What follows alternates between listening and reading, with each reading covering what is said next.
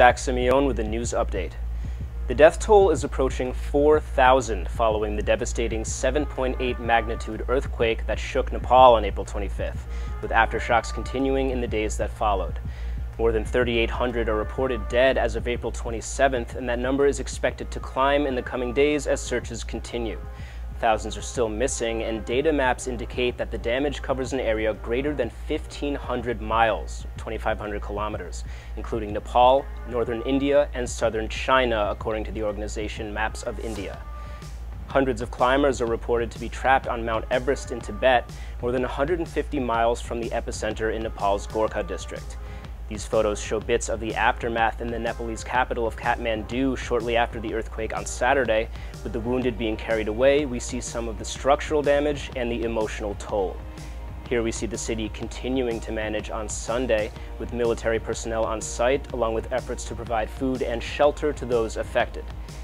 The hospitals were still filled with victims come Monday, with the number of injured now well into the thousands as well. Aid has come into the country from around the world. In Chhatrapati, just northeast of Kathmandu, this contributor's photos show an aerial view of a campsite set up for survivors. And at Pashupatinath Temple nearby, mass cremations were held on Monday for some of the deceased. In the U.S., protesters took to the streets of Baltimore, Maryland on April 25th, crying out for justice in the case of the death of Freddie Gray. It was the largest march yet to be held in Gray's honor. After several hours of orderly demonstration on Saturday, the protests turned violent, with more than 30 arrests made and six people reported injured.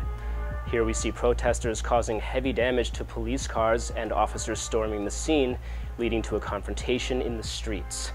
Freddie Gray, a 25-year-old black man, died on April 19th after suffering a fatal spinal injury while in police custody.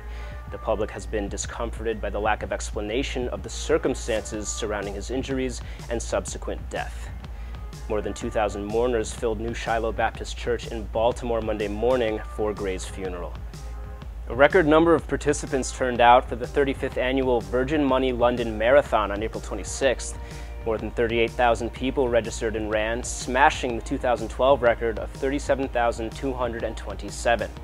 The demographic for this year's race spanned from professionals to amateurs, from charity runners to celebrities.